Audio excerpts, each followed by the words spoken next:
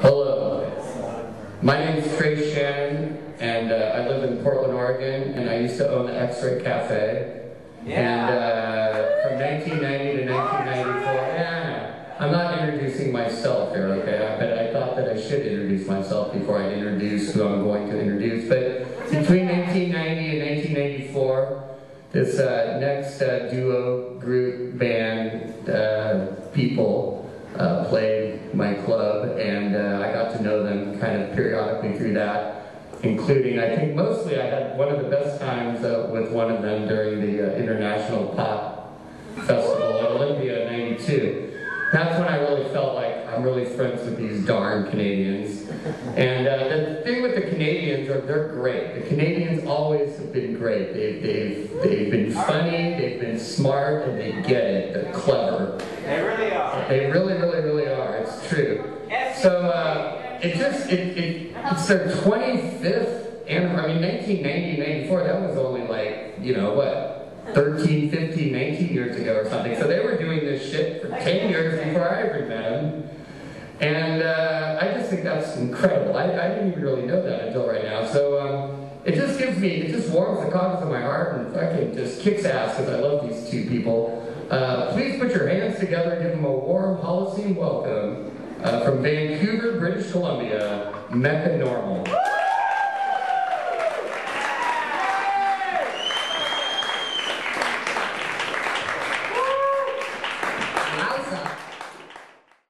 I had no idea about what it was. I want to say anything, but about uh, being in a band. Uh, I. It was just all something to do, really.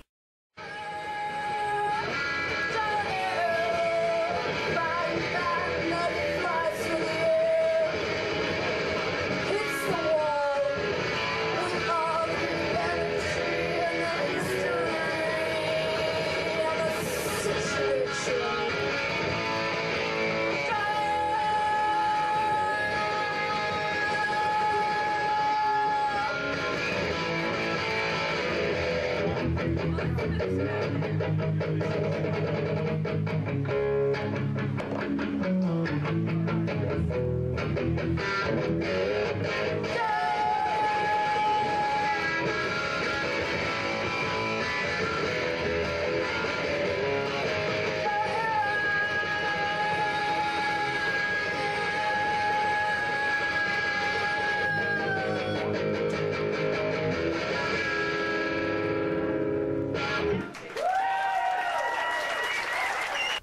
we didn't have any we didn't have any idea what what was going to happen, and um, it makes it sound like something incredible happened. Well, the only incredible thing that happened was we just kept going. This is Democracy Now!, democracynow.org, The War and Peace Report. I'm Amy Goodman. We're joined now by Mecca Normal, a band from Vancouver once described as a pioneering anarchist feminist literary punk rock duo. When someone believes in me, the way I believe in you. That means there's no money to make the film? Not yet. Then what are we doing? Doing it anyway. We're Doing it anyway. Are you looking at me? Are you looking at me? How did it strike you when Mecca Normal first popped up in your in your world? Yeah. You want to wear one? It seems like that was uh, that one tour of November 1987 when you guys came to uh, Eugene with uh, um, Spook and the Zombies and the Go Team. Um, sorry, what was the question? Yeah, just just say anything. Yeah, I remember distinctly when I first saw Mecca Normal. I saw Mecca Normal um, at this uh, basement gig um, in New York at the downstairs. It was a uh, yoga studio, and it was the, with uh, you guys, Galaxie 500, uh, Go Team, some of those sidewalk maybe. Is that true? I'm not making that up. Okay, so that was yeah. so that was it in that crazy um, kind of uh, you know put together ad hoc show in the basement of a yoga studio. And um, you guys were pretty rough back then. Pretty grating and loud and well it wasn't it couldn't be loud enough but you had this intense energy that was pretty uh, you guys were on fire and, uh, and then I think that I I actually had to uh, kind of acclimate to your sound became more I had to um, you know keep going back and uh, seeing the performance over and over and uh, slowly get, getting it And have you got it yet? no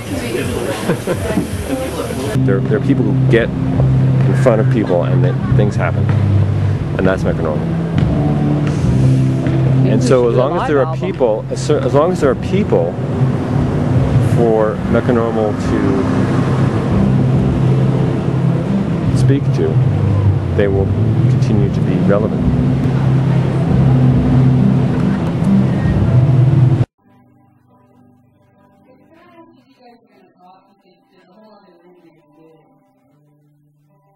Kathleen Hanna, who founded the band Bikini Kill, once said, quote, lyrically, Jean Smith of Mecca Normal was really poetic and had feminist ideas at the core of a lot of her songs, and she wasn't ashamed of it. She wrote a song about street harassment and the male gaze, and when I saw her, I was just like, that's it. I'm done. I'm sold. So uh, those were two new ones, so now we're going to do one that we wrote in 1984, and it came out on our first album, which we put out after doing approximately one show, because we didn't know that you weren't supposed to go down to the pressing plant and make yourself an LP after you'd done your one show. Which turned out to be, uh, well, actually, the people in our community just thought we hadn't paid our dues and that this was, you know, just a bad, bad move that we made. Uh, we used some limited distribution and got the LP up to some universities in Canada, the radio stations there. In Edmonton, it went to number one. I got this two pieces of mail in the in the box one day, and it was the record number one at the radio station. Then the adjoining publication reviewed it and said it was the worst record ever made. it was confusing and interesting, but we knew we were onto something.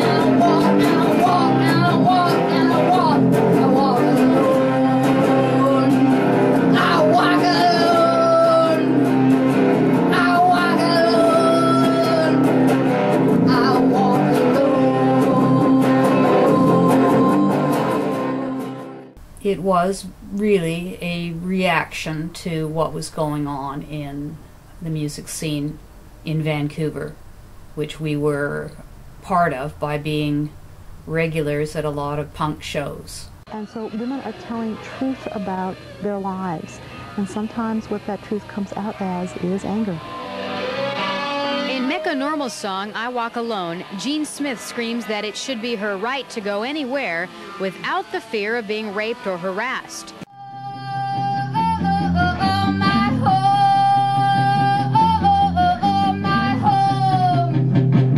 I walk alone because it's my right to walk anywhere at any time of day wearing whatever the fuck I want to.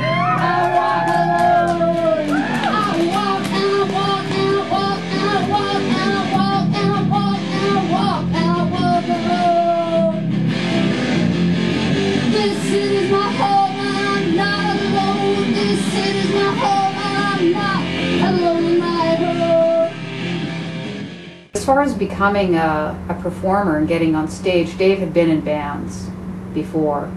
And uh, he was, I suggested that he start a band and that he get an oboe player. I think I was just joking, but he found some people and told me how it went, and I, and I thought it sounded pretty ridiculous, so I volunteered to come over and uh, sing.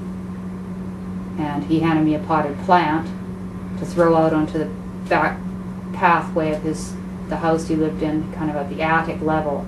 So we stepped out on a little tiny balcony and he just belted out and threw the plant down onto the some scrawny little philodendron or something, you know, just the smashing of the clay pot and then came back in and you know, so here we went, right? So the the first song that we ever created together was called Conform. You don't have a choice, there isn't a question. We know it's right, don't try and fight. Conform, conform. No career, have a baby. Conform, conform.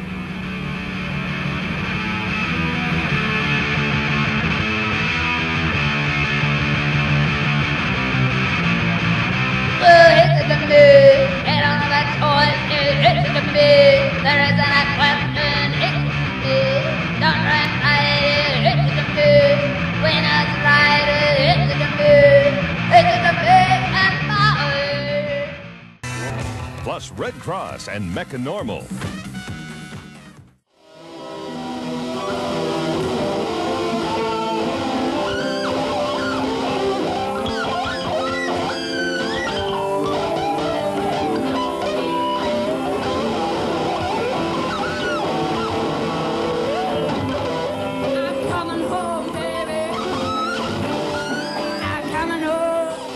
Mecca Normal has been described as a punk band. Is the book's almost a punk fiction nom version? Well, it's got those elements to it because it is, you know, the sort of do-it-yourself thing. David published it, and um, I'm not uh, an educated writer, even though I say an educated, not a educated. I, I don't actually have, a, you know, any sort of formal training in writing. So it's a matter of just taking hold of the, the written language and jumping in and expressing ideas and concepts that I think are worthwhile and interesting and important. My thoughts are chased by dogs,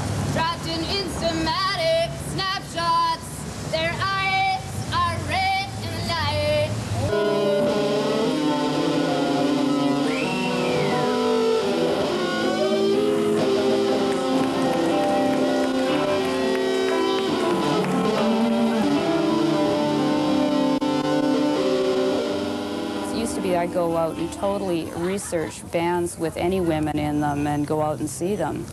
It was a novelty almost, and if there were women who were actually speaking their mind and being totally forward and aggressive in the punk rock context, everybody knew about it and it was, you know, unusual. But now there, there are just women all over the place creating bands and uh, no matter who's going to label it whatever, there's no way that it can be seen as a negative thing. And when this whole Riot Grrrl label dies down, the ideas behind this, this version of feminism don't go away. You know, it's been built up in some sense of frenzy, and then I'm sure it will be ripped apart in some form or another by the media, but it's, I think, wise to remember that these ideas have been around for a long time, and they will be around long after this particular labeling disappears. Stop it with the gun was a philosophy of hers, more than a request. But right now, she likes the kid to quit it. He has a sound-equipped machine gun pointed at her head, pointed at her head. The dogs have questions for me. The dogs have questions for me. Whatever, just just give me a block of something enthusiastic about Mecca Normal. Give me a quote. Mecca Normal is, or start something with the. Two options. Well, it was so exciting because, like, uh, Dave would play guitar like it was a whole band playing guitar. It was so rhythmically powerful. Um, Okay, you're about to get you're about to get off the hook here, man. yeah, it's not working. I don't know. Just say something vibrant about anything. Oh my God! no, Mecca Normal is amazing, and like uh, so many people I know be like, "What's the deal with Mecca Normal?" Uh, but no, but I would meet people that I would, in other respects, I think these are nice, intelligent, sensible people. But then they'd be like, "Wait, what's the deal with Mecca Normal? Are they joking?" You're done.